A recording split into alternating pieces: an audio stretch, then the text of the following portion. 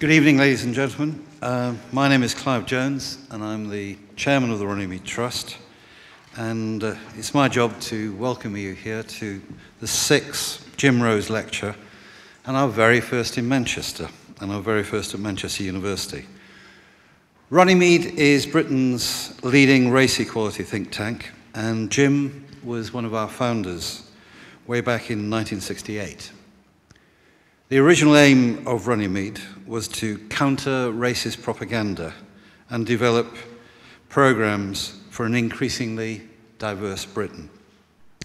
And we're still at it, nearly 50 years on, and the challenges are no less great. Jim was at the heart of the fight for social justice in Britain for nearly four decades. And we've held this lecture in his honour six times since his untimely death in 1999. As I said, we're delighted to be here in Manchester and for the lecture to be hosted here at the Martin Harris Centre of the University.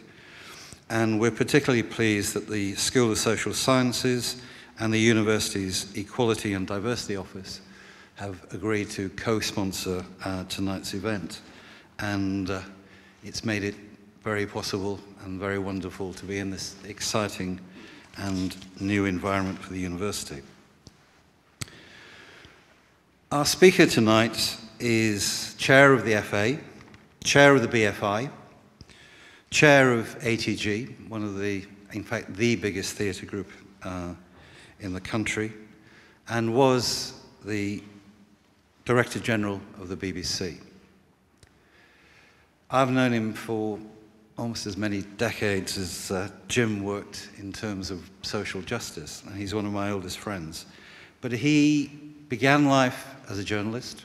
Um, he then went to York, uh, to the university there, to study politics. He came out and resumed his career in journalism, then became a campaign organizer uh, for the uh, campaign for racial equality um, and did two years at that before he went on to have a very glittering career in television, first of all as a producer, as an editor, as the, uh, the man who saved TVAM. That was his first role as an equality employer because we treated everybody very badly.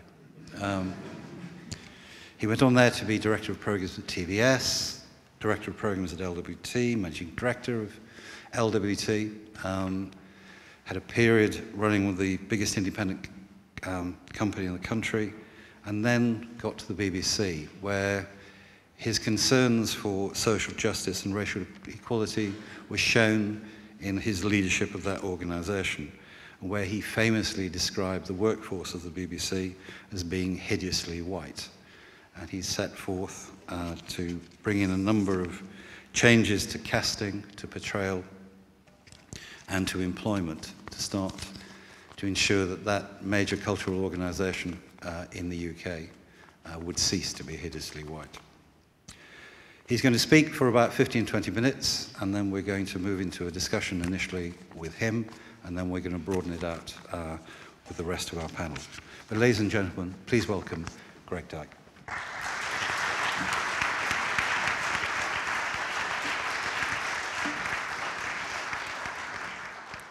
What Clive didn't tell you is that I met him at TVAM when I was running it and he was the number two.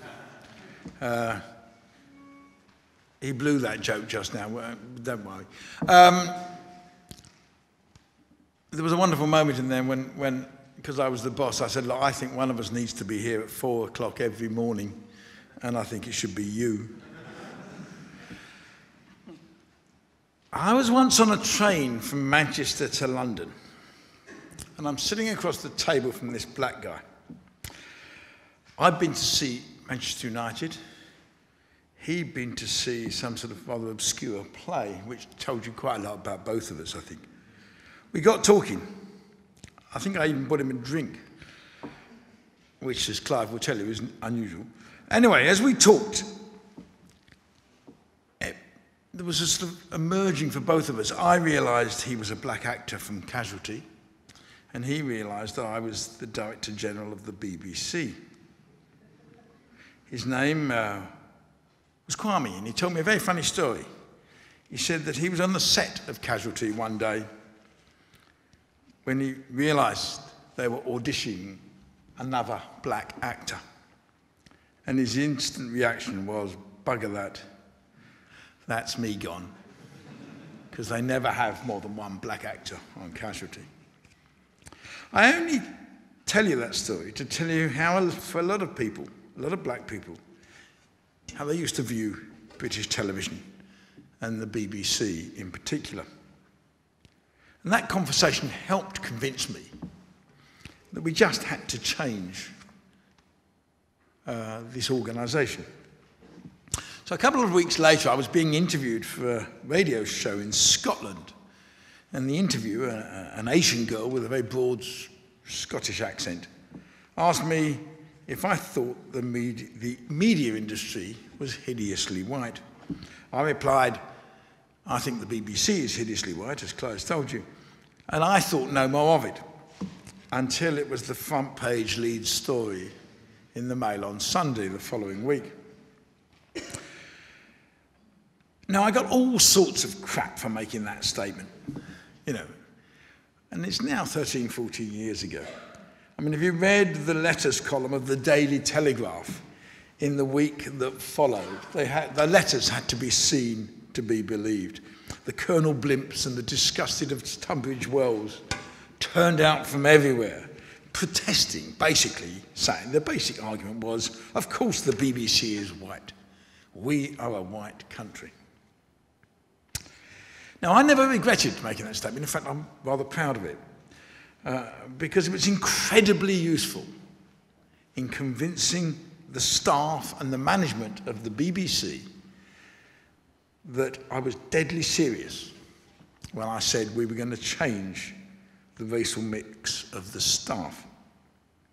So when I introduced a set of ethnic minority targets for staff and management, and with it a star chamber system for assessing every three months whether or not different departments were on their way to change, to meeting their targets, everybody took it seriously. What was remarkable was just how quickly we were able to change some attitudes and change some numbers because senior and middle management discovered they were to be held accountable if we didn't change these numbers. And that in turn would impact on their annual assessments, on their bonuses and the rest. And in about three years, we did make a difference in the numbers. I think our total staff, we went from 6% to 10%, and in management, we went from 2% to 4%. They're still pretty pathetic figures.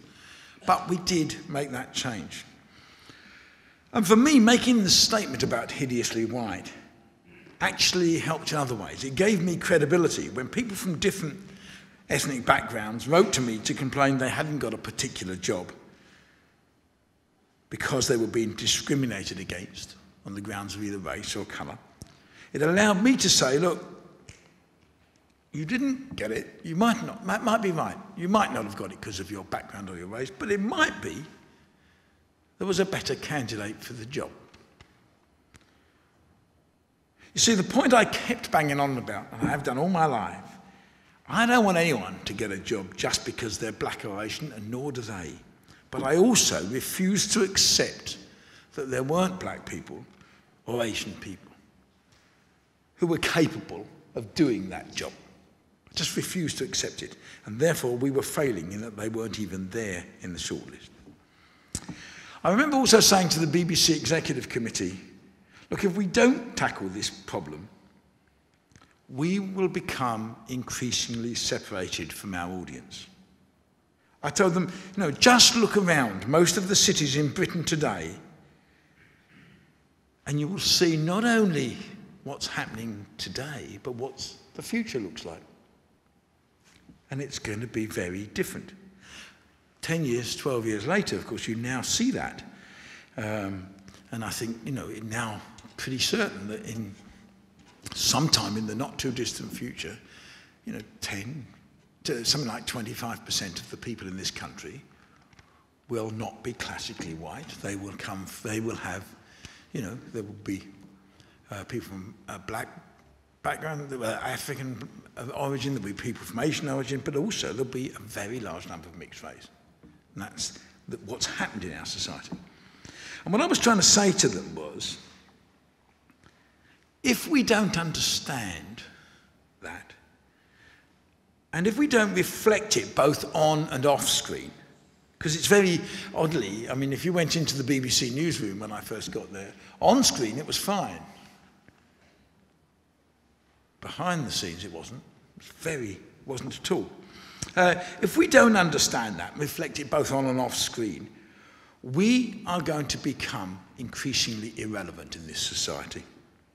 Because if we don't employ someone whose mum and dad were thrown out of Uganda by Idi Amin, or we don't employ someone whose mum and dad came from the Windrush generation, we will not understand Britain in the 21st century.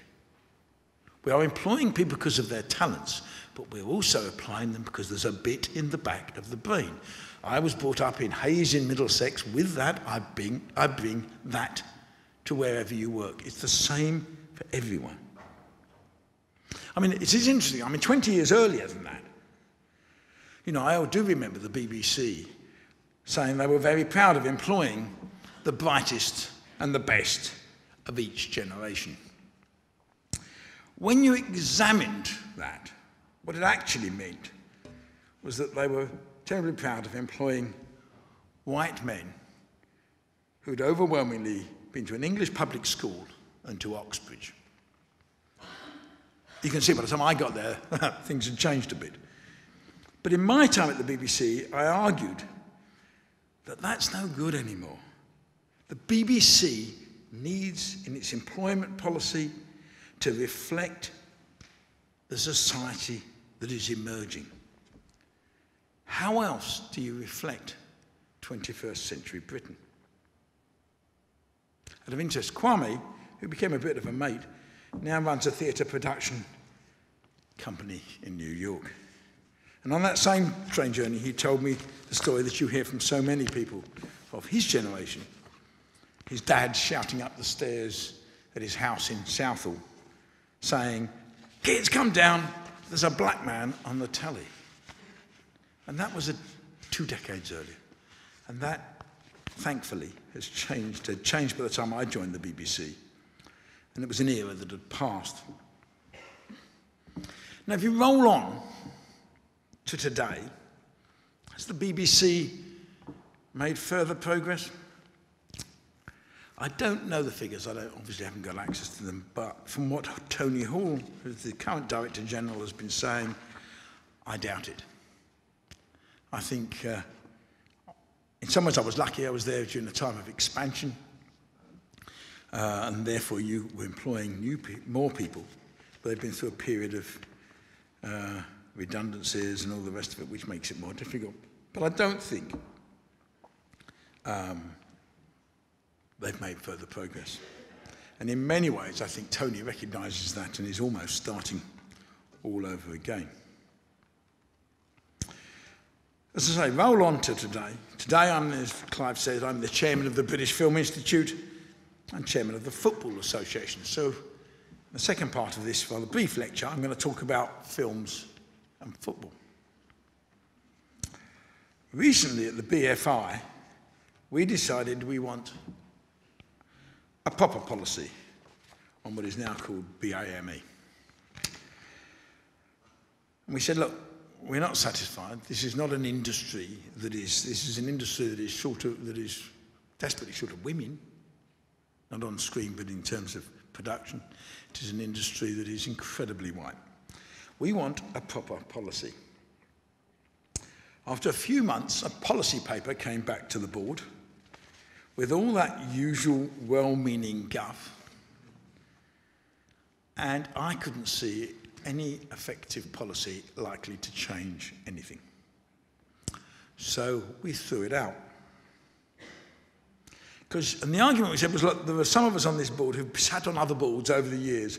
We've seen well meaning policy after well meaning policy. Policy is a waste of time what we wanted to see was some action.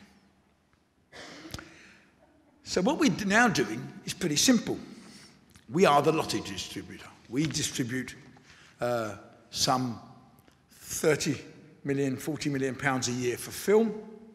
And we now tell production companies if you can't prove you have a diverse workforce, you won't get our money. And the film industry, I mean, often we're the last money, and often, it, it, you know, particularly British film, needs that money.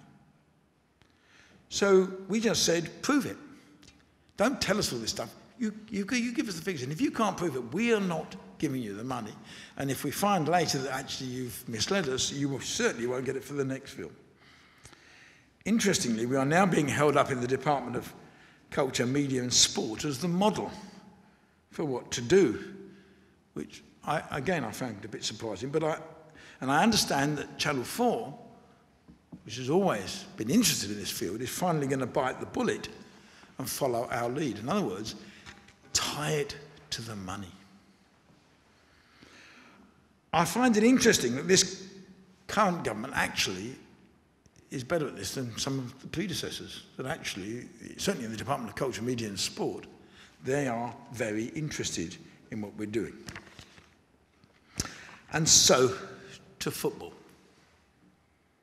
20 years ago, going to a football match could be a pretty distressing experience.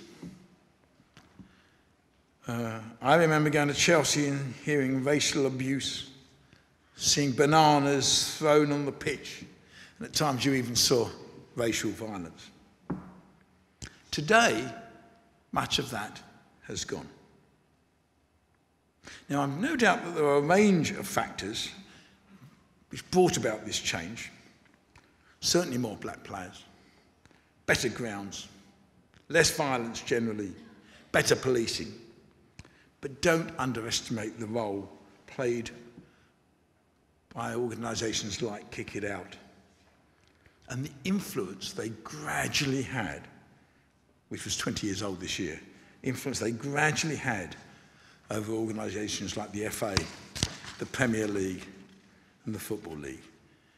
And they did it, and one of the other heroes of this whole thing was the PFA, the Players' Union, because they decided too this wasn't, couldn't carry on, things had to change. But it was Kick It Out that convinced the people in football that change was possible. And influenced by external factors, the people in football, I think, realised that they not only could change, but they had to change. So this, does this mean the problem has all gone away? Well, amongst the crowds, I think we'd all agree that the position is much, much better um, than it was 20 years ago. Although it is worth noting that we still don't see the diversity in the crowds that would in any way reflect the public at large. I spent seven years as chairman of a club called Brentford, based in the London borough of Hounslow, a very Asian. There were hardly any Asian fans who came to watch Brentford. And we, to our shame, didn't do anything about it. Today, the problem in football is what I would call institutional. We still don't have as, we still don't have as many black managers or coaches as you would expect from a professional game where roughly 25% of the players are black. We have three black managers in 92 clubs in the Premier and Football Leagues. And I can't think, and I might be wrong, but I can't think of a single black chief executive amongst those 92 clubs. Clearly, this isn't good enough. Clearly, it needs to change. The question is, how do you do it? Um, earlier this week, I got a text from someone pretty senior in football urging me to bring together the leaders of football to discuss this problem. What do we do about it? I sent him back a reply. I said, Look, I would, I'll only do this if we, the FA, the Premier League, and the Football League agree to commission someone to research the area and draw up a plan for change. The last thing you want to have is another conference. The last thing you want to have is another meeting, is another uh, bunch of people who sit there and say, yes, we all think something, and then nothing happens. There's got to be a plan for change. It's too easy to come up with supportive words which change nothing. What we need is a plan of action. Now, at the FA, I recently ran a chairman's commission. The major aim of the commission was to try to understand why so few talented English lads are getting into the first team at our Premier League clubs. But amongst our uh, proposals in the second report we produced, we suggested a radical reform of coach education. We don't think our coach education is good enough, and we think there needs to be radical change. And that's something that the FA controls, so it's something we can do. But what we also said was it is time to prioritise the BAME communities. So when we appoint our new head of coach education, he or she will be told this is one of your major priorities. Why?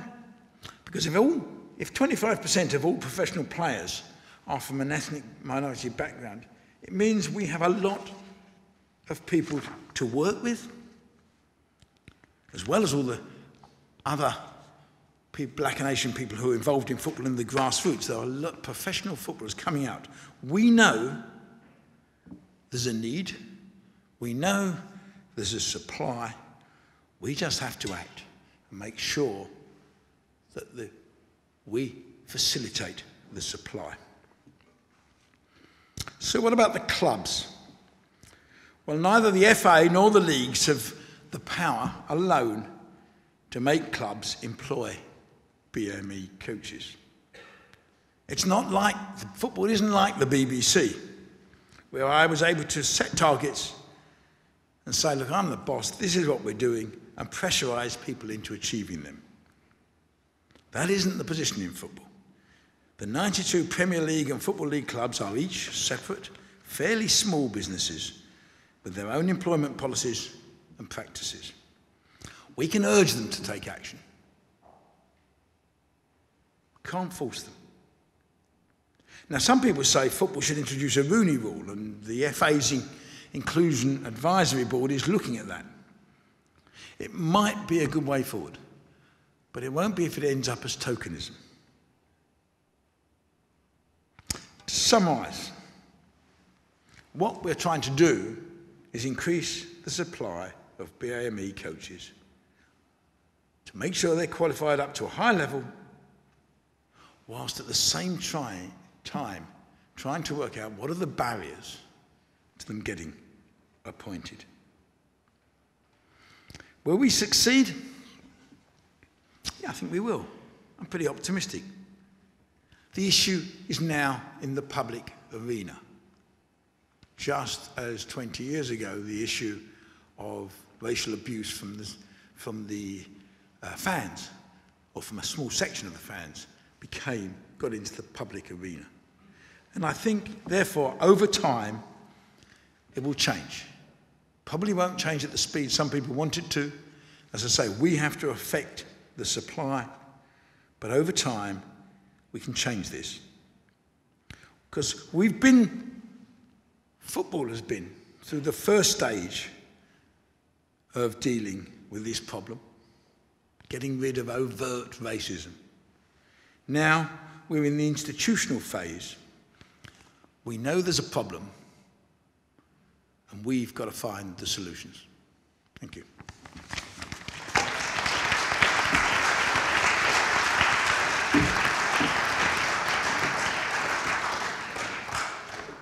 Thank you, Greg. A fascinating lecture.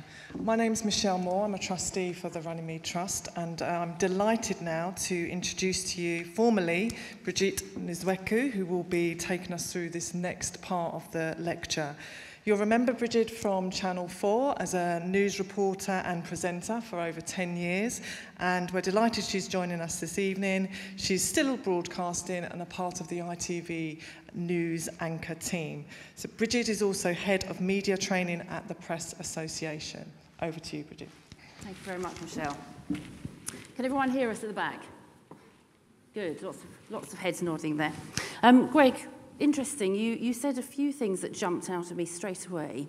Uh, so we're going to get straight to it because we have limited amount of time with you today. Um, you talked about football being institutionally problematic, institutionally racist. No, I didn't say it was institutionally racist. You said the problem I said the problem next, the next problem is institutional. I.e., how do you change the component parts of football? That doesn't, it's not implying it's institutional racist, racism. It's saying this, we've done one, we've, football has been through one change, which I think they should take credit for. They should, mm, people should say, well done. I think you've now got to go to the second part and say, uh, we've got to change this.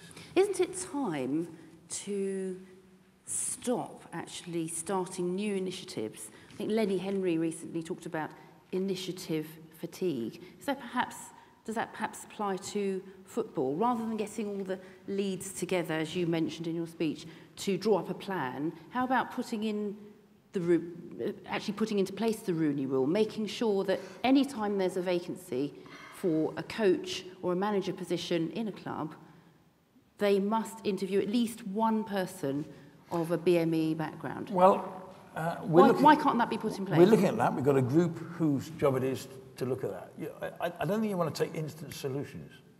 but You've lots got of people you've to, propose there's no point doing things if you don't think they're going to work.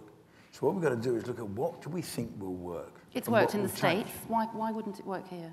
Uh, I, don't, I didn't say it won't work here. Uh, I think there's probably an argument for it. But we, we've got a group of people looking at that. And we'll wait and see what they come back with. You mentioned also that 25% But of players are from this background, we and then- we've got lots of people to work with. So do you think things will change quickly? Well, I think you've got, there's a lot of people in, there's a lot of people in football who will want to go through a coaching system and then get into the game. We're going to now say, okay, we are going to change our coaching system anyway, and we're going to say, look, we're going to look for 25% of the people going through that system who come from different ethnic backgrounds. Because if they don't get those coaching qualifications, they're not going to get there anyway. Now, then you've got to say is, are, as, they, as, as coaches, coaches from that background come through, are they going to get the jobs? I think that will come about with uh, a combination of talent and pressure. Affirmative action. Yeah, I've always believed in affirmative action. Excellent. So we're going to see some results then. Well, well you've, got to understand what I said. There are 92 clubs, and they are all separate individual businesses. Mm-hmm. It is not like sitting at this university mm-hmm. where you could actually say, we're going to have a policy and it's going to apply to the whole university. You can do that. You can do that in a big organisation like the BBC. You can do it, you know, you could do it in Shell. You can do it in Marks and Spencer. Okay. It's much harder to do it when you're dealing with 92 individual companies. Okay, so let's think about that. One of the things you said was tie it to the money, which you're doing, you're doing in the film industry. Yep. Why can't it be tied to the money in football? For example, there's lots of collective negotiations over football uh, TV rights. Why can't there be some obligation that ties diversity to the money in football? If television companies or sponsors decided they wanted that was a criteria for them, yes, you could do it. So you would support that, and would you? we would don't You, have the money. We don't distribute the money. You it have the doesn't come to the. FA. We have influence. We can the things, the things we can do about coaching and things like that. We couldn't just pass the rule and say this has got to apply to everybody. okay, We don't have let's, that degree of power. let's move away from football. You did have some success at the BBC in, in improving diversity. Uh, in an organisation you described as hideously white. Would you say it's still hideously white? I don't know it closely enough to know, but I suspect it's still pretty bad. Yes. The media. I go in there occasionally to do interviews and things, um, and it always still strikes me as I don't see a mass a sea change. let's, let's, let's then broaden it out to the media as a whole. I mean, what was interesting at that back, back then, I mean, when we started analysing the numbers, you found things like BBC Birmingham, you had a, the Asian network, radio network. When you took those numbers out, there was mm. hardly anybody there who mm. was from an ethnic minority background. And actually, what was interesting is the management of those organisations, when they saw these, were deeply embarrassed by them and changed it. Mm. It So is, it is embarrassing in the 21st century, isn't it? I'm, I'm sure my uh, fellow panellists will agree. it's, it's, it's embarrassing. So, in terms of the media overall, um, Lenny Henry, Idris Elba, many other well-known creatives have been saying some action is necessary now. Um, not another plan, not some initiatives, but some action. Money, commitment, commitments to, Well, I remember Lenny to create me roles. on the day I said the stuff about hideously white. The day it was after it was in the Daily Mail, everyone was the, the Mail on Sunday. Everybody was attacking me. Lenny rang me up and said, "It's good, isn't it? Well done. It's time somebody said it." Um, I think he's right. Uh, as I say, it's a much easier thing for an organisation like the BBC to do, and um, there's no point. It's a bit like we said at the BFI, you know, the board said, we don't want any more policy papers. We want to know what can you actually do. And we, in the end, said, look, you go back and tr- follow the money. Now, Channel 4 commissions an awful lot of programs and has never had, never gone as far as that, but I think they will. Um, the BBC commissions a lot of programs from outside the BBC as well as inside the BBC. Once you start saying, look, you're not going to get your money unless you can demonstrate this, they'll change. Now, football, as I say, is weird because it's harder. We don't have the money. The Premier League can't say that to its clubs because the Premier League is the clubs. So, So are you, are you saying actually that the structure needs to change because the current structure I militates would- against? I, I wouldn't have believed 20 years ago that football, that what's happening in football in terms of crowds would have changed as radically as it has. I mean, I found it disgusting going almost. Where would you like to see the number of BME coaches in, say, two or three years' time? Take, if we're thinking about action, it'll take a bit longer than that, but say if you go Five through years. five years. I'll give you five years. If you go through five years, I, we can certainly train uh, to the highest level several hundred BME coaches in that period. and what proportion of those would you like to see in post? Well, remember, the job of a... Just give me a number because we're running out of time. What percentage? What percentage? What percentage of those Oh, well- hundred would you like to see in post? Well, again, it depends how good they are and whether they get the job. Let's No, assume what- they're all excellent. But what. I'm asking to you, don't Let's forget... assume they're all brilliant. Are you talking about coaches in coaching positions, or are you talking about coaching as managers? Because don't forget... Let's stick with coaches because we know the Yeah, numbers. There are 19 out of 552 at the moment. Who are qualified top-range coaches, yes. Okay, so Oh, I think... how many would you like to see in five years' time in post? Out of 552, 50 to 100. 10%. Everyone like the sound of that? Because you've got to look at the change. You've got to say how long this is going to take. But remember, coaching, uh, football coaching and football management is an incredibly precarious job. Mm. Uh, you know, I'm I sure. think I'm the average Premier League sure manager lasts less than a year. Hmm. So it's not about cutting it if you're black or white. It's, it's about surviving. Hmm. It's I mean, about. there's only, It's there's about only two things you do, as it seems to me, as a Premier League manager, is you, you negotiate your entrance and your exit at the same time, because it happens. Um, Greg, thank you very much. We're going to open up the discussion now to include our panel members. And as you know, they are Gillian Joseph from Sky News and Rimla Akhtar, who is chair of the Muslim Women's Sports Foundation. Thank you very much for joining us. Uh, before I ask you any questions, anything particularly jump out of Greg's speech that you'd like to comment on? Gillian? I think um, tying it to the money, that phrase jumped out at me because I think it's not just about the perception of being part of the 21st century, it makes economic sense. And when you do tie it to the money, I think that's really how you're going to get results because that's where it hurts. Pull the purse strings and people jump. Mm-hmm. So I think that really shot out for me. Rimla, quick comment from you? From my perspective, and I, I say this all the time, it's, it's really about institutional change. Structural change needs to happen, and we need to take a longer term approach to this because this is not a short term solution. Short term solutions are not going to help in the long run. Um, so for me, the structures have to change, uh, the policies and the procedures and how you deal with, certainly in terms of discrimination, some of the cases that come along, all of that process needs to be reviewed and put into action. Mm. Okay, Julian, I'd quite like to ask you a question about your experience of getting to where you are now as one of the most recognised broadcasters um, from the black and minor minority ethnic communities. We both follow in the footsteps of people like Maura Stewart, And um, at the very beginning of my career, I had a, uh, something happen which I'd like to share with you, which is that I went for uh, an interview for a BBC region that shall remain nameless. And I knew the moment I walked into the interview that I wouldn't get the job. Because they were clearly expecting an Irish-Polish person. Bridgid Nzekwu, Bridgid Irish, Nzekwu probably Polish. Uh, and the reaction was something like this. and I sat down, I, I thought I did a great interview, um, wasn't very surprised to, to not get the job, and started work at ITN about a month later. Does that sound familiar at all? Have you had any incidents? It sounds very familiar. Um, I think it's just the, the perception, really, that, you know, you're not what they're expecting. Um, but that perception was wide. It wasn't just within the confines of broadcasting. One of my first broadcasting jobs was up in, uh, on Merseyside, working at uh, Radio Merseyside.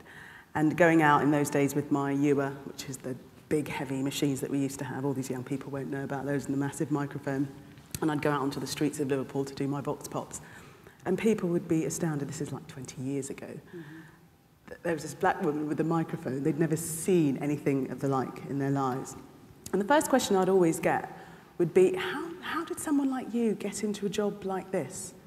It just wasn't part of their term of reference. They just didn't expect somebody from my background to be in broadcasting.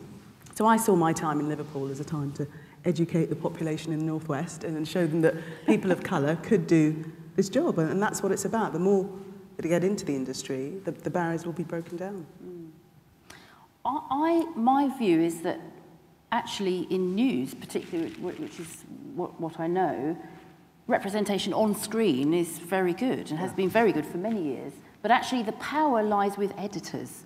And there isn't Absolutely. enough, there isn't enough attention given to diversity in the power broking part no, I of totally the newsroom. agree. I mean, it's, it's, it's wonderful to have the on-screen presence, but that's actually the tip of the iceberg and very superficial.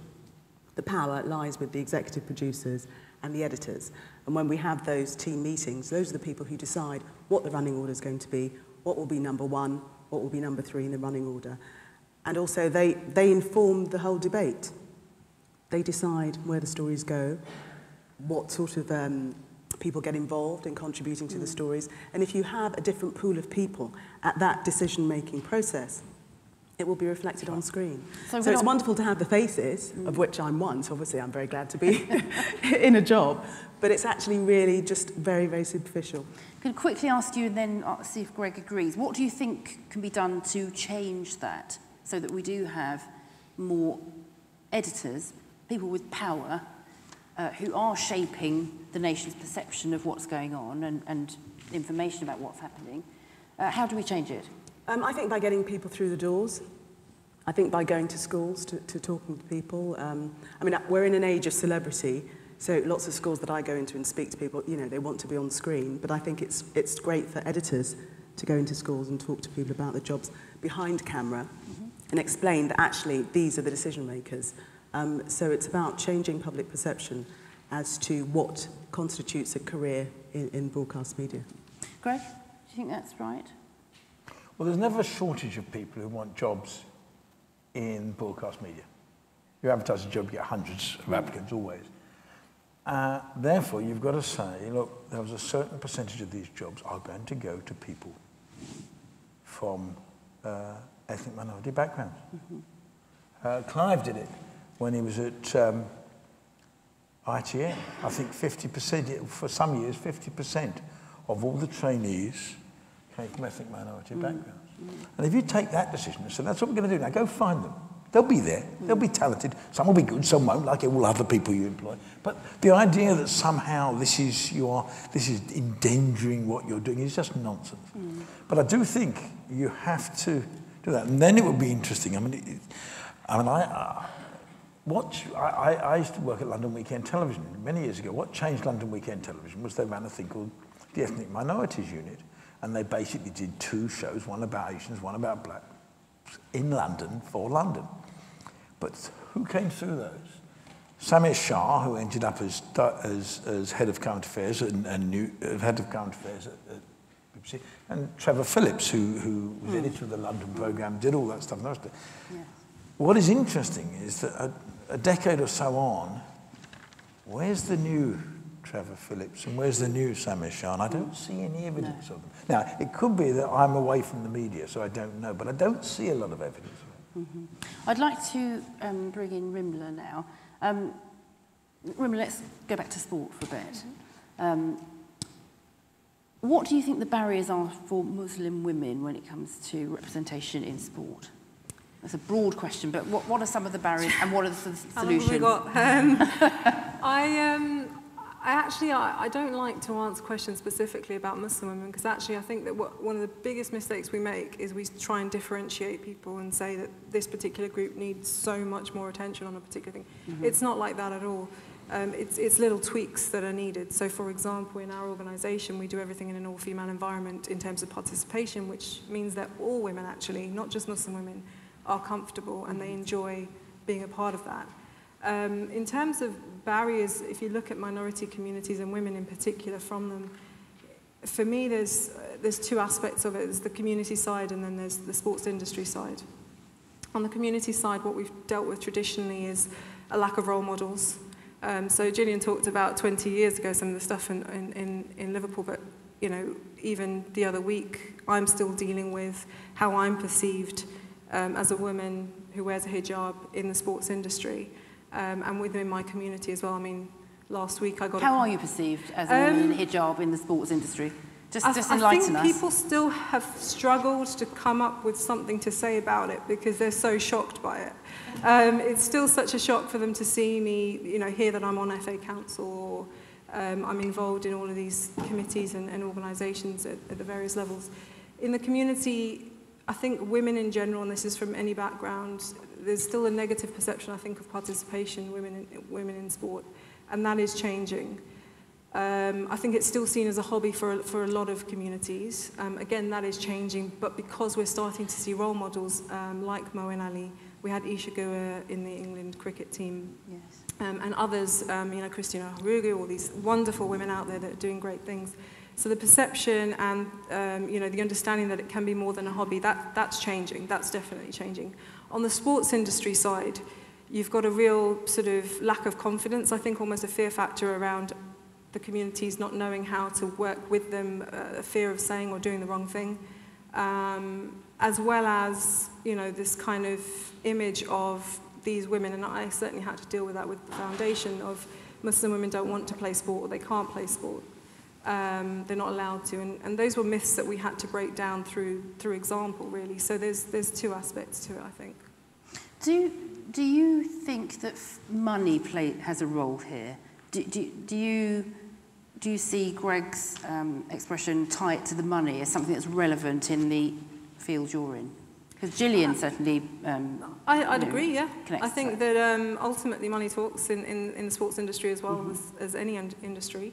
Um, and I think that personally, I feel that when it comes to issues around inclusion and diversity targets, um, which, by the way, it's not just a problem in the football industry, it's right across the sports industry, and I see it every week, you know, every week, mm. um, some of the issues that other sports are dealing with. Um, if we do start tying their targets to you know, how much money they receive, and I think that should be coming from government right down in terms of the governing bodies, um, we'll start to see governing bodies take this seriously and rather than it being initiatives and talk about how yes. we can include people, we'll actually be saying, okay, we need to do something about it now.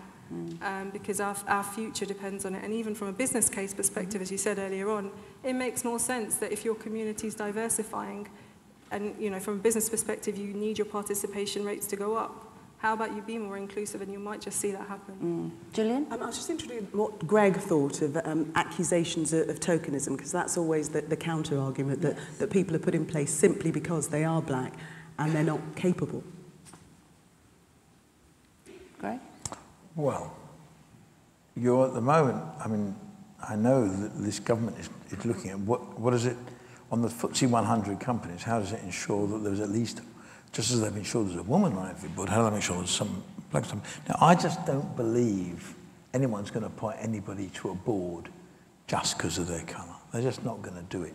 What they'll want to do is make sure they find, they might be looking for someone of, of, of colour, but they'll be looking for someone who is talented. And there's enough talent around. I mean, so I, I, That's I the issue, isn't it? Yeah. Actually, there's a lot of talented people who just don't have the access, who don't have the networks, because the people who are making the decisions don't connect with those communities. So it's not it- really a lack of talented individuals who can do the job, it's giving those people of opportunity. I think that's, that's the key thing here. I mean, even with the Rooney Rule, we were talking about it earlier, it's not about quotas, it's about saying give people the opportunity because we've heard this phrase a lot. It's a closed structure within sport. It is your, your mate and so-and-so knows so-and-so and they'll, they'll get the job. And it's a mm. case of opening up those structures and making it more inclusive and giving people the opportunity to actually show that they too can shine. Mm. I mean, um, would, would you agree, Greg, that it's, it would be worth organisations, whether it's football, media or any other organisations, understanding that they are not relevant if they are not diverse? They're just not relevant to society as a whole. They don't represent society and therefore they need to see diversity as an essential issue of remaining relevant. Yes, change out there. But we, it is a different society to the society of 50 years ago.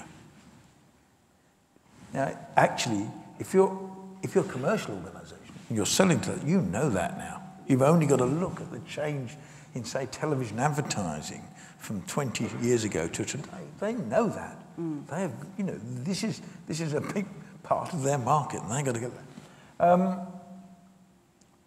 one of the lines I've heard quite a lot in football is, uh, well, we're elected and you come through a process and there aren't enough people who want to stand. Now, again, if you take a decision that actually what you want is a more ethnically mixed board, you go and find the people who sit on your board. It's not very complicated. And there are people, and they will do it. And if you, you know, when, when, when I hear that, you know, through all sorts, of, you know, they've done it here at the FA in Manchester, you know, they've actually done it, you know, whereas... Well, police have done it, Yeah, for example. you've got, um, yes, you, you've just got to say, look, we're going to change this. And you can change, and it will, you can change it. But you've got to have the will. It's not enough to say, oh, well, we, we're open, we're not, we don't discriminate. It's not enough. You've got to go out and be positive and go, fine. Okay, a question to uh, all of you, which is going to look at it from a, from a different angle. What is it that the audience needs to do, and the population as a whole, in order to make this change happen? Because we don't really want to wait for institutions to, to change things, because the pace of change is so slow. So is there something that, I don't know, viewers of news programmes, drama, uh, football Well, fans... They, they need to say. What do we need to be doing? They need to say what they would like to see. That you know, some members of the, the audience from black and ethnic minority groups need to say, I want to see myself reflected on screen. Hmm. Um, even in a period drama like Downton Abbey, why not? You know, there's been debate on that. Hmm. They want to see themselves up there. Children growing up can actually see others like them, as I did. You mentioned Moira Stewart. Yes. Because of Moira Stewart, because of Sir Trevor McDonald, I believe that I could actually one day have a job like that. Mm. So people have to demand. You know, very powerful now. And with, I know on 24-hour news, I'm on air for maybe four or five hours at a time, and I'm constantly in contact with the public. Mm. It's as immediate as that. Yeah. So we need to let the decision makers know what they want and demand what they want. Rimla, do, do, you, do you think there's, um, there needs to be a, some way of the public being able to lobby more effectively to, to gain this better representation? I think so, and I think one of the, the main things that, that I believe is that when we work together, we're a lot stronger. And I think there are a lot of um, individuals I know, certainly as in the sports industry that I've met, that are in really strong positions in, in you know, individuals who are in, in particularly influential positions. Um, and we, we, we need to work together to start to create that change from, from within. Mm-hmm. Um, you know, I work with people, um, with organizations to help them understand and get what these issues are.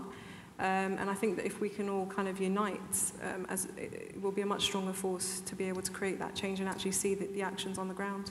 So you're talking about partly being better at networking. Yeah, definitely. And I, for me, unity is key in this issue.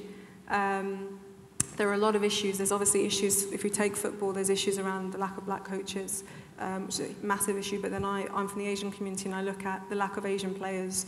Um, you know, there's so many male Asian players at the amateur and semi-pro level Why, I, I can't believe for a second that there isn't at least one or two within there Mm. that could make it up to the, to the pro level. What does, Um, what does Greg have to say about that, actually? It's a good point, isn't it? Yeah, I think it's... What, what's I, the problem? I don't know. I seriously don't know. I mean, but, but I, I agree with you. I don't. I, I just don't believe it can be that there aren't people with talent. So, but nor do I believe that it's they've been discriminated against as because they're Asians. I mean, that doesn't make sense in a in a, in, in a professional game that's got 25% black players. It could be a stereotyping. It could be all sorts of things. I don't know really. Um, but you're right. There aren't. There are quite a lot of Asian players playing at, at, a certain level and not playing at professional level. I think stereotyping in itself actually is a form of discrimination because Yes. we had the same thing, um, obviously with black players um, becoming coaches and certain stereotypes that people had of, of black players and would they be able to make it as a coach. And similarly we've got the same thing with Asian players. Would they be able to make it and commit as much um, and make it to the pro level? And unfortunately those stereotypes do exist out there. But on top of that there is as I said earlier on this systematic change that needs to happen. Even talent IDing do the talent scouts go to the right places to find these players? Mm -hmm. it's a big you know, big piece of work that needs to be done. And do you think then we really do need to look at things like the Rooney Rule and targets for Yeah. number of Asian players, number of um, black coaches, Asian coaches? I, th- I think t- targets are useful in the short term. Um, and they should support the longer term work as far as I'm concerned. We could have targets for absolutely everything because there's so much to deal with. It's not just racism, there's, there's sexism, there's, there's issues around faith, um, you know, homosexuality, etc., that need to be dealt with. Um, we could have targets for everything, but ultimately it's about looking at the system itself and is, is it working the way it should? Because if it were, were to work properly and naturally, we wouldn't be talking about these issues. So if you were um, in Greg's position, let's, let's, let's imagine for a moment that you are in his position in the FA. What, what are the three things that you would do straight away Gosh, to change the... That's a hard one. um, I think ultimately for me, we need, there's one thing, we need a vision for this. Mm-hmm. We need a vision to say, where do we want to be in five, ten years' time? Like any business would for financial reviews, for you know, business Well, we know that. processes and things. Because But Greg where would like we to see be? 50 black coaches in the next five years. Well, how about we see a reflection of the 25%, you know, in, in terms of coaches? That's the vision that we need to see. Uh, we need to put that vision together. We need to look at, do a review, really, of the processes and the procedures that are within the sport. And I, I think not just football, we should be doing this cross-sport. Um, we should be looking at those procedures and saying, where are we, where is it not working? But the good point, you know, that Greg made earlier on, that it's not just the FA. The, the problem with this is you've got the Football League, the Premier League, the PFA, the LMA, um, you've got all the local county football associations, etc. It's such a huge, you know, huge community to deal with, um, and everyone has their own kind of um, strings, you know, areas that they need, they need to focus on on a local level. I think really we have to look at the whole structure of the game and say where can we influence, um, as well as how do we get our own house in order at the FA. But, but it is hard enough. I mean, the, the commission that I set up last year, that ran for a year, was looking at how do you get um, more English players, of whom a, dis, a disproportionate number are going to be black. How do you get more English players through this system into the in, into professional clubs? And what you discover is there is a barrier. And that barrier has nothing to do with race or anything like that. That's a barrier about um, the barrier, but the jump between being uh, at an academy and getting into the first team in the Premier League is now too hard. You can't get through. Uh, so you've got to, so, you know, there are lots of barriers in, in all this that aren't just about race. They're about how do you, because one of my big things is, look, a lot of these kids are very talented and deserve their chance and are probably good enough. But somehow we've got a system that says it's, it's better to go and sign another bunch of overseas players. Hmm. And we've got a, again, institutionally, you've got a, a, a, European Commission or a European Court ruling that says we can't really do anything about that. Are you hopeful about the future then? It sounds slightly defeatist. No, no, no. I don't. I think uh, in terms of English kids getting through the system, yeah, I think it's difficult. Uh, in terms of coaches, I think we can change that. We're, we're expecting you to, I think, aren't we? yeah, Well, well, he's you- given you a you've- number. You've given me a number. I know. And you've picked on the bottom end of the number I said. So I mean, yeah. no, no. We, we will certainly. There is no. We can do it. We because we will say we will say look. We want 25% of the people going through this system have got to come from ethnic minority backgrounds. Go. And if you can't do it, come and explain why and what's not that. And I just don't believe it. We will do it. It's Clive's story at ITN, honestly. It is. Um, so, um, finally, before we uh, wrap up, I'd, I'd like us to just think over some of the points that Greg made and that we've been discussing here. It's not just waiting for organisations like the Football Association, the BBC, etc., to implement change. We need to network, we need better networking, we need the audiences, the fans, basically people in the audience here, to lobby for this change because that demand will force change. Do you think that's a fair summary, Gillian? I think so. I think so. And it's up to all of us. You know, society has to, as, as you were saying, come together on this. And we, we know what we want reflected on our screens and in our, our football clubs. And we know what's not acceptable. And we're quite away from being where we should be. So, I mean, it's up to people to, to demand what they want. And also for um, the decision makers to listen and realise that it does make economic sense to reflect society at large. Rimla? Yeah, totally agree. Um, as I said earlier on, I think it's it is about us supporting one another in in this drive to, to create change, um, and I think that that can only be done when we're unified. And, and Greg, do you, do you think, get you to put your cards on the table now, do you think we're going to see a Rooney rule in the UK? What's your feeling? You said that, that it's being looked at at the moment. Um, If you were a betting man, what would you say the odds are? uh, I would, the odds 50-50. Because everybody's got, every, everybody's got to, everybody's got to agree. There's no point us saying, there's a Rooney rule, you've got to do it, because we can't make them do it. So everybody's got to agree. Uh, I think there'll probably be the equivalence.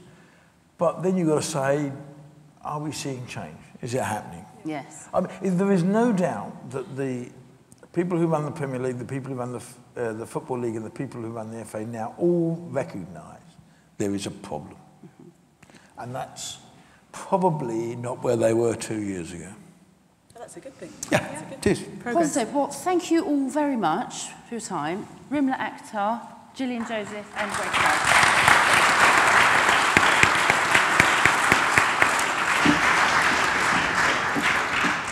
Thank you for a fascinating and very thought-provoking panel discussion. Thank you, Bridgid, for your excellent interviewing skills there. Um, I have to make a massive um, social media apology. I should have told you that it's uh, hashtag Runnymede. Um, so if you do want to tweet, please do tweet. Um, we're going to move into the Q&A section. We've just got a brief amount of time for questions and there are a couple of mics roaming around. Um, please can you keep your questions brief because we just have a very short amount of time. So if you do have a question, please raise your hand. Jason, I will come to you. I will come to you. Could you say your name and where you're from? Just wait for the mic, Jason. There's Sorry. mic coming to you now. Hi, my name's Jason Arde. I'm a trustee of the Runnymede Trust. Um, and basically, I just wanted to ask the panel um, do you think there are actually realistic opportunities for BME individuals to pursue a career in the media realistically? Absolutely. I mean, I'm here. You know, there, there, there's nothing to stop you banging on those doors. I had to bang on those doors all those years ago, and you keep pushing, you keep pushing, and one day that door, that door will open. Um, I think where the problem lies is that many people perhaps don't think it's a realistic prospect. But hopefully people like myself, like Bridgid, who are there, you know, we're, we're not special. I'm not saying you're not special, Bridgid, but there's nothing extraordinary about us. We're exactly like you. So if we can do it, you know, then, then anybody can. I would just add to that and say um, you need what everyone else needs, which is persistence. And if you really want to do it, don't give up. Put your face in people's faces. You know, my first day at Channel 5 News as work experience, I went straight up to the editor and said, I'm Bridgid Nzekwu and I want to be a reporter and I want to present your programme. And he, he laughed, but he remembered who I was and he did give me a job several years later. So I, I think you just have to make yourself irresistible. And um, we've got irresistible people on the panel here who've managed to do it. Thank you. But you also, I think, this thing comes in phases, and I think you're in one of the phases now where the media industry is suddenly terribly conscious that it actually hasn't done very well. So it's probably a good time. And just there in the blue shirt. Um, do you want me to say who I am? It would be great. if Yeah, you yeah, could. my name's John Brown, live in Manchester. Welcome to Manchester, um, probably one of the most diverse cities in the UK. Um, I'm, I'm on the, I'm not part of the FA, I'm the Vice Chair of the Advisory Ad Inclusion Board for the Manchester FA. And I, I was really interested in what you were saying because I've had this discussion with Rimla. it, it's all well and good to say we need to do this and that, but actually the FA needs to put its own house in order before it's sort of reaching out and saying to other people about they should be taking on more black people, more gay people, more women. Because if, if you were to do an audit of your own organisation top to bottom, you'd probably be in the same position you were when you joined the BBC. It isn't reflective of its communities. There's a lot of issues. And I do think there's something about having that authenticity in, in challenging others if you can do it from a position of strength. And, and it's something, I, I'm, you know, you've said to people, tie it with the money. You're, you can actually change the FA. And, and I understand all the other bit about persuading other people. You've got to persuade them, you've got to cajole them. But it's like you, you start with your own house, really. And you've mentioned a few times about setting your own house in order. I think the FA could do with a, maybe an equality audit and a bit about where black people, where women are in positions. Mm. And I know there's a thing about elections, but you can, as you said, you can always say, well, let's, if, you know, you could say tonight, well, for every FA job, let's have the Rooney Rule there and let's see if it works. Because if you're not convinced of it, why not try it out? And if it's a complete disaster, we'll say, well, it was a complete disaster and we'll come up with something better. But if it, if it isn't, you'll be seen as a pioneer. So I think I'd, I'd shorten the odds and go, you know, go for a, a winning bet rather than the 50-50 chance. And you've got the chance in your I like the way organisation you're to try that thinking. out. Yeah, Okay. thank you, John. Great question. Well, you have to distinguish between the staff of an organisation, which we have total influence over, and uh, we are, we have done that in the past, we're doing it again now, exactly what you're suggesting. Um, and I don't, uh, it's quite, in terms of females and in terms of, it's quite racially mixed, doesn't appear to be at the senior level um, and the elected members of the organisation who come from all over the country, who we uh, have more problems influencing. Uh, I mean, I have said about our board, look, you know, on a board where four come from the professional game and four come from, are elected by the, the wide, how do we decide what, you know, talent and mixture we want? Because we only get, I, there's two, there's three non-executives on this board. Now, um, in most companies, you would look at your board and say, I mean, at the BFI, we certainly sat down and said, we're not very racially mixed, we've changed that. We're not, we haven't got enough women, we've changed that. But then you also say, uh, we, got, we need a lawyer, we need an accountant, we need, because you, you try to arrange your board. Uh, that's much harder if you're not appointing them from up here, but they're coming up from down there. And just in the middle there, Mike's on its way. just in the middle, in, at the front here, just at the front here. Thank you very much. Uh, my name is Golam, and I'm from Manchester. And I'd just like to extend on a point that uh, Romana brought up about um, British Asians and, by extension, also Arabs.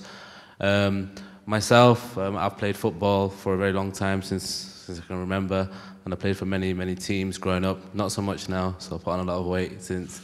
Um, You can still and um, some of it. Still, you've got a um, and, and um, basically, the point I want to make is that the people I've played against, there's been a wide representation of British Arabs and Asians playing football. And it's a bit confusing when you see such a diverse range of people playing football, but they don't actually make it to the top. They don't go through the amateur levels and the semi-professional levels and make it to the professional level. I think uh, Greg sidestepped that question and, did, and said it's, you know, there isn't any sort of discrimination, but I find that very difficult to believe. When we have, by parallels in the, in the, the, the cricket, you have many Asian players that have made it to the, the cricket team. Why can't we have that with the, with the Football Association as well, with the football teams? Um, what is being done by the FA to get um, more uh, minorities from the Arab and Asian community into professional football? And my second point was, actually that's it. yeah. Yeah. yeah. Good luck. good luck. Thank you. We, that's not the role of the FA. The role of the FA, we, we, you know, we support football at a massive level. The clubs identify the talent and bring them through. The system now, I think, is pretty exhaustive. Uh, if you're quite, you know, talented kids seem to get in. Actually, the criticism you could make of the system is that too many talented kids actually get into the system and very few make it. Very, very few make it. And that, I think, is a criticism of the system. Quite why that doesn't apply to Asian uh, uh, um, people of Asian background and Arab background, I honestly don't know. I'd invite you, Rimla, to Yeah, I think um, the, the point that you've made um, around lack of Asians in football, as I made earlier on, it, it's there, and I think that there is there are some barriers there that, that, that need working on. There are some initiatives that are taking place um, with that the FA are, are, are um, involved. Obviously, my work in the Inclusion Envi- as Advisory Board, um, I hear about it um, quite a lot and support it quite a lot. So there are programs around identifying Asian talents um, within the community, um, but also in terms of coaching, um, getting our Asian coaches to actually help integrate them into clubs um, and getting that, that talent out there as well. But actually, and I made this point earlier on, it's not just a problem for football because even if you look at cricket, you gave the example of cricketers. We've got Moeen Ali in there at the moment. We had Ravi Bopara for a while. We had um, Monty, obviously, for a little while as well. Before him, Sajid Mahmood. So we've had these one or two individuals being in the team at some stage. But actually, if you look at the amount of cricket that's played by Asians in this country, and uh, you know that, that come from abroad, is something like 30%, I think, of cricket. They did a piece of, piece of research recently. 30% of cricket is played by Asians. Why aren't we seeing that reflected in the coaching structures and the playing structures? Um, and I would say the same on the women's side as well. We've got no um, people of colour in the women's women's team for cricket at the moment. We had Isa Guha, we had Ebony, but they've now retired. So it's a it's a cross sport problem. Thank you. We've just got time for maybe two more. There's one here and one up there. Just on the third row, young man, sit that side. Uh, thank you very much. Uh, my question is kind of aimed at Mr. Dyke again. Firstly, thank you for um, that insightful uh, presentation, uh, speaking about what you've done around diversity. Uh, I work for an organisation called Sporting Equals. Uh, I think Michelle was at the event last week. We had an event at the House of Lords uh, called Leaderboard that found that from 45 governing bodies, only 3% of people were on boards that were from BME communities. So it's kind of expanding from the point the gentleman made from uh, Manchester, for, Manchester group is if we are going to change something, it has to change from the top. It has to change from board level, it has to change the CEO positions. It's, it's really good tackling this kind of participation agenda, uh, tackling black managers, but if we don't, if we don't change from the top, nothing's going to change. Uh, so kind of first my question is what can be done to ensure the decision making, the power, that, that changes at the top. Uh, and also when you are BBC, how much change at the uh, kind of director, executive board level, uh, how, how much influence did you have over that and did anything change at that level as well? I'll be totally honest, when I was at the BBC, we had uh, no people from ethnic minority backgrounds on the boards. We decided, as, as uh, um, on the executive board, in other words, working for the organisation. And I put an enormous amount of pressure on the head of HR to find me someone who was the, the right talents and background to come and become an executive. And we did. We got Pat Younge to come back to the BBC. Uh, he's gone off somewhere else now. He, he's always coming and going somewhere. But we got Pat Younge to come back to the BBC because of that. And we were, we were acutely aware of that. That, that you have to, it's not enough to just do it there, you've got to do it there. And what interests me, if you look at the BBC board, uh, executive board today, I wonder how different it is, or is it still white? In which case, why didn't that generation come through? You know, and, I, and, and that's because I'm not there, it's 10, you know, it's 10 years since I left, so I don't know. But that's the questions I'd be asking. Hang on, we employed quite a lot of people who came here. Why didn't they come through? They came through on screen. They probably come through as producers. Why haven't they come through to be executives? Okay, we've got time for just one more question, and it's just at the back over there. Apologies for the others, but this is in the order of the raised hands. Please work with me. I'll come to you if I have the time. Please work with me, people. I'm a, I'm a teacher by trade, so this is, this is how it goes. Um, right at the back on the, on the left-hand side. If I've got time, I will make sure we have equality of opportunity, because that's my business. At the back. Thanks. Uh, Danny Fitzpatrick, uh, lecturer in politics here at Manchester. Um, I can't sort of help thinking that we're sort of trying to solve a 21st century issue with sort of governance structures that haven't changed since the 19th century. And it seems quite obvious from what, from what Greg has said that the FA is severely constrained in what it can do to affect what the clubs decide to do and what the Premier League decides to do. So don't we need fundamental reform of the governance of football, whether that, and it's probably going to need government intervention, sort of root and branch reform. Thank you, good point.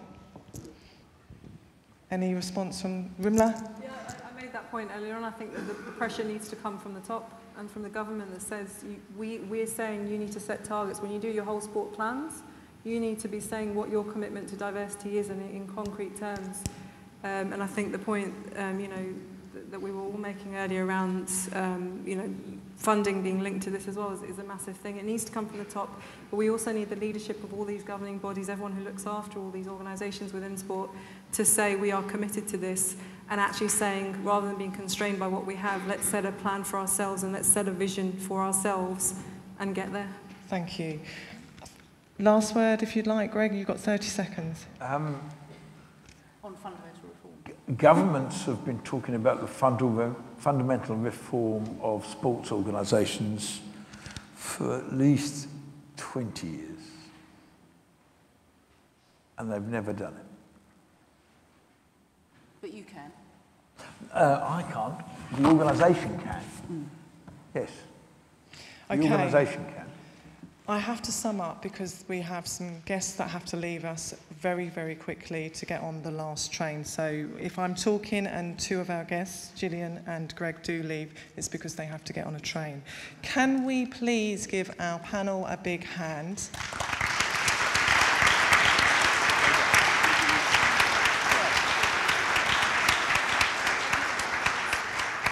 A very big thanks to Greg, to Rimla, to Gillian and to Bridget for giving up their time and being here with us this evening. We've heard, um, I think, really thought-provoking discussion tonight.